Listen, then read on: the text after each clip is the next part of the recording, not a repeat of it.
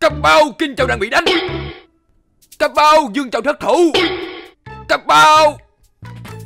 Các ngươi nói liền mạch, Đừng làm ta giật mình có được không? Có mỗi cái việc thủ thành tam quốc liệt truyện không xong, Mất thành rồi thì kéo quân sang công thành chúng. Nhưng nhỡ chúng đoán được ý đồ của ngài thì sao? Ngươi nhìn với lượng binh mã dồi dào của chúng ta thì phải sợ gì cơ chứ? Chưa kể ta có thể tùy ý điều chỉnh hướng tấn công để chúng bất ngờ. Hiểu chưa?